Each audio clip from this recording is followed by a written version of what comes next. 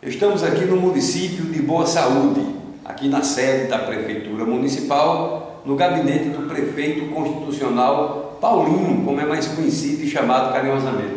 Paulinho, vamos falar um pouquinho sobre as ações do governo. Como a gente comentava antes da entrevista, nós sabemos que as dificuldades são imensas.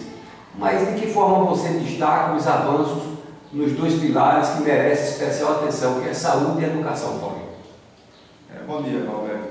Realmente, é, hoje a gente vive uma, uma crise é, municipalista, né? Muito grande. É, né, é notório a, a, a luta do, da frente municipal para reformular o Pacto Federativo, porque a gente vive um momento hoje que os municípios, a parte financeira, a gente está, de certa forma, inadministrado, né? A gente tenta é, fazer o máximo, mas se falta recurso muitas vezes para as ações é, ações basais, as ações é, mínimas no município. Mas diante de toda a crise a gente vem conseguindo ter sucesso, certo? E é, hoje a gente está com, com três anos de gestão e nesses três anos de gestão estamos aí nos próximos dias entregando duas unidades básicas de saúde contra a população? É, estamos também entregando é, uma, uma escola construída com recurso próprio.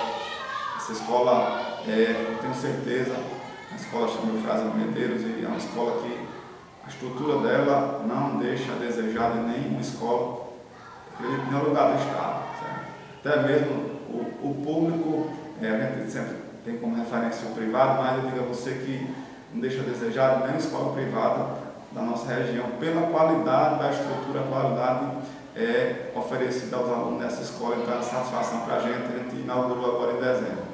É, fora isso, também com recursos próprios, estamos é, construindo outra escola na, aqui na sede do município, uma escola nova com todos os, os padrões de acessibilidade. E aí, é, na, na, na, área da educação, a gente também, ao longo dos três anos, nós temos conquistas. O município hoje conta com, com seis ônibus é, novos para o transporte escolar, todos adequados às, às normas do CONTRAN para o transporte dos alunos.